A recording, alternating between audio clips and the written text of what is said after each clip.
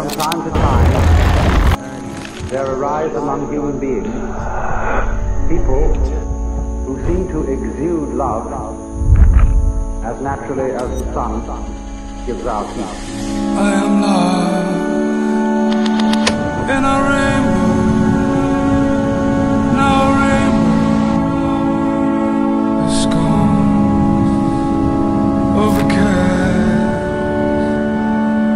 shadow.